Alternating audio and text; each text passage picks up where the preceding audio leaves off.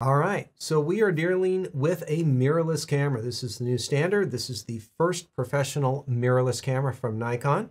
Has all the great things that you would expect from a camera, including interchangeable lenses. And the lenses are the aperture control. So that's our first way of controlling light. And then, messing up my graphics, they've taken away the shutter on this camera. No physical shutter. It's an electronic shutter.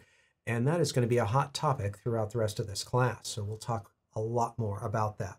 So the information is sent directly on off to the monitors, the LCD monitor on the back and the electronic viewfinder so that you can see exactly what you are shooting and exactly when you are shooting it, which is a big advantage on this particular camera. The shutter, the shutter doesn't have a shutter anymore. The sensor turns on and off to create its own shutter speeds of which we now have a much greater range, all the way up to 32 thousandth of a second, down to 30 seconds, and beyond when you turn a special little feature on that I'll talk about in the next section. So we have lots of different shutter speeds, different apertures to control our aperture, and those are kind of the basics of how a mirrorless camera works and what the most important components are. Now, arguably the most important component is the sensor in the camera, the type of sensor and the size of the sensor. So the size of the sensor, well, it's on the larger size. It's considered a full frame sensor, and that is because it is based off of 35 millimeter film, which was a happy standard for many, many, many decades in the world of film photography. It provided a convenient sized camera with capabilities of making pretty good size enlargements, and that has carried forth into the days of digital. There are other size sensors that are larger and some that are smaller, and they're all good for their own thing that they do. There's a bit of compromise with any sensor size, but this one uses the full frame 35 millimeter size sensor that Nikon has become famous for over the decades. So for our basic controls, of course, we have our on off switch. Whenever you turn the camera on, the camera has a fluorine coated filter in front of the sensor that it vibrates to knock off dust. The fluorine coating on there is kind of a really super non-sticky surface, slippery surface, so that things will generally not get caught on there. If they do, they can be knocked off. There is still the potential that you will need to manually clean your sensor, and so that is a possibility down the road. The shutter release for taking photos, that's a pretty obvious one. We have our main command dial in the back of the camera. So with Nikon cameras, the main dial is kind of the thumb dial on the right-hand side of the camera. The sub command, which is a secondary control, is on the front of the camera. So that's your matching front dial. The photo video switch is a very important switch. Most of this class, we will have it in the photo mode because we're taking still photos and learning how to work a still camera. But we do have the video sections. And if you want to put this camera into a completely different video mode, then you flip that switch and then a lot of the things change over to that particular mode. So that's an important switch to keep your eye on. The multi-selector on the back of the camera is our simple up, down, left, right control, generally used for navigating the menu system. You can move focusing points and change whatever is highlighted in the menu there. The OK button is going to be used for confirming changes that we want to make. So you'll highlight something by going up, down, left, or right, and then you'll press OK to confirm that choice. The sub selector, aka the joystick, is going to be primarily used as a focus point mover, but you can also use it to navigate and do a variety of other things with it anytime you need to move around. So the sub-selector and multi-selector can be used um, either way for a lot of different features on the camera. Now it does also have a fully capable touchscreen, so if you like using that, feel free to use it. If you don't like touchscreens, not to worry, there's pretty much uh, dedicated buttons for everything else on the camera. Now this is considered to be a full-bodied camera, which means we have a horizontal grip and a vertical grip with separate controls when you're holding the camera horizontally versus vertically. Now, if you tend to bump buttons like some people are prone to doing, then you can turn off those vertical buttons with the lock switch over by the vertical shutter release. And so if you are hitting that button because of the way you're carrying it or putting it in and out of your bag or for whatever reason, if you want to lock those, you can turn those off, except for when you actually turn the camera vertically and start using it in that regard. So that's kind of a good simple trick for not messing things up. All right, Nikon buttons work a little differently than some buttons from other camera manufacturers. There's a number of buttons on this camera, the one circled, where you will press the button and you have to leave the finger on the button while you turn the dial. This is kind of a safety protocol so that you can't just accidentally press a button and have something happen. You have to do two things to do that. And so that works with the ISO and the exposure compensation and a bunch of other features as well. Now, if you don't like that, you're more careful. You're not clumsy in that regard where you need to have two fingers on the camera. You want to do it more simply.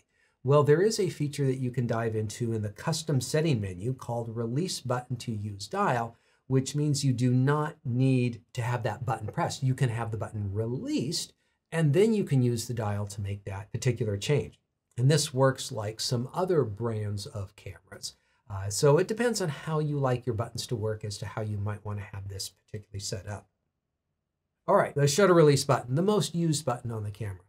When you press halfway down, it activates the metering system, and by default, because remember I reset my camera to the factory default standards, it also activates the autofocus system, which may be good or may not be good depending on how you like your camera to work.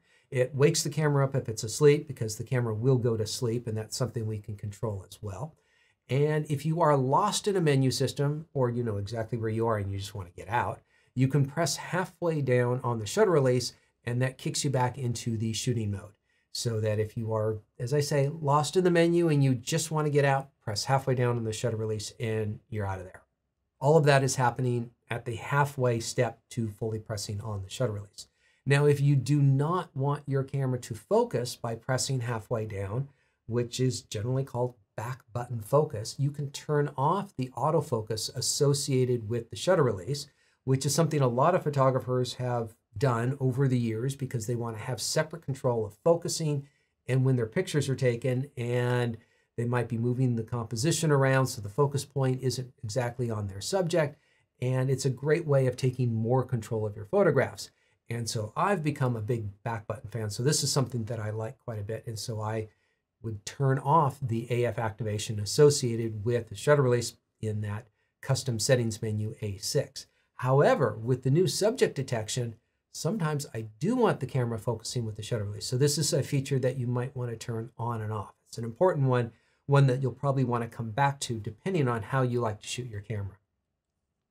All right, here in Camera Basics, this is the really important stuff, the file format. When you are shooting still images, you have the basic option of RAW and JPEG. And yes, I know a lot of you already know quite a bit about RAW and JPEG, so I'm not going to drone on about it for very long. But if you want to have full control and full editability, if that's a word, you're going to want to shoot the RAW. It's going to give you more tonal range if you want to brighten up the shadows, you want to control the highlights, you want to work with it in editing, you want to have that raw image, but the raw images are quite a bit larger than JPEG images, so there is a bit of a compromise.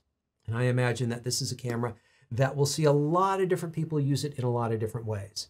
If you're using it for studio photography, fashion, portrait, wedding, landscape work, where you want generally all that you can get out of the camera, you're probably going to want to be shooting in RAW. There is a variety of options of RAWs that you can shoot. This is something that we'll dig into a little bit later on in the class because there's three different compression levels of RAW, and I've done some interesting tests that will show you exactly what you're getting with these three different levels. And that's why the file size can vary a little bit, uh, actually quite a bit, on, on how big these files are. So if you want to get the most, yes, RAW is the place to go. But I know there's going to be a lot of people who would shoot this in JPEG. I know I would for certain types of situations. Usually sports photographers or people shooting very fast action.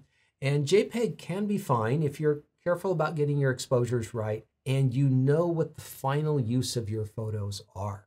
And so, you know, I have shot sporting events where I know I did not need 45 megapixels. 45 is a lot of megapixels. At one point, I remember Adobe stock images required 17 megapixel images because that was professional and something you could market. And I don't know that that's really changed.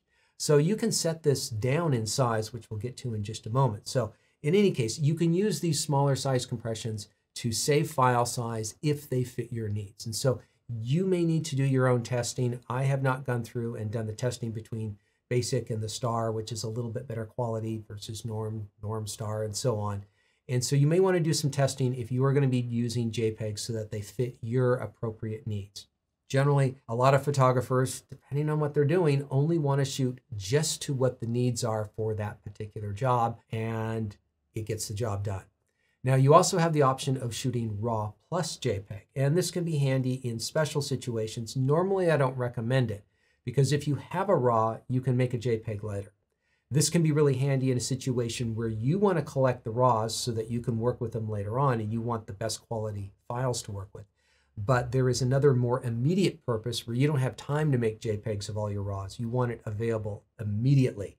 And there will be ways of storing them on the memory card so that you can have RAWs on one memory card and JPEGs on another card. So you could just give that card to somebody else and they can go off and run off and do what they need with those images right away. And so I imagine that there's going to be a lot of these different options that are going to be used by the different Z9 users, all depending on their workflow. But you want the best quality, of course, it's RAW. The camera can still turn out very good quality JPEGs that meet a lot of needs. All right, so let's do a little demo in the camera. Let me show you what's going on. So we're going to dive into the menu right here. And in this first camera tab, we are going to go down to image quality, and this is where we make our settings in here. Now, funny enough, the standard default system for Nikon is JPEG normal, which I think is a little odd. I would generally have it set a little higher for myself. Uh, you can move up to RAW, and above RAW are all the RAW plus JPEG. So if you want two files for every picture you take, you can have a RAW and another JPEG of a different compression size. You can choose uh, strictly JPEGs, and if you're going to shoot a lot of sports action or where you just want to shoot a lot with smaller file sizes, uh, check to see which JPEG is right for you. But I think for a lot of people, you're going to want to select RAW, so you hit the OK button to confirm that that's what you want, and you will see it there on the right-hand side. So that's your first basic setting, RAW or JPEG, and then with JPEG, you have a lot of little fine-tune options. We will have some fine tune options with the raw. As I say, we'll address those when we get more into the menu system.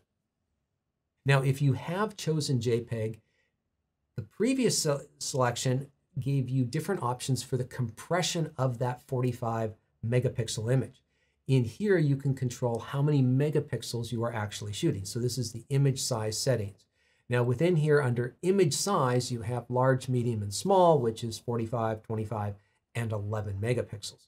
And I think we all know that there are certain events that just do not need 45 megapixels. The usage of the final photographs are just not going to be there. If you need to save space on memory cards, speed up the workflow in one way or the other, you can size this down according to your needs in here. So this is one where it's very hard for me to make recommendations for what you need. I can explain how it works and the implications of it. You're going to need to be the one that decides what is right for the way that you use the camera. So those are our simple camera basics, not too many. And then after this, we're ready to get into the serious stuff. So thanks a lot for taking care in these little simple sections.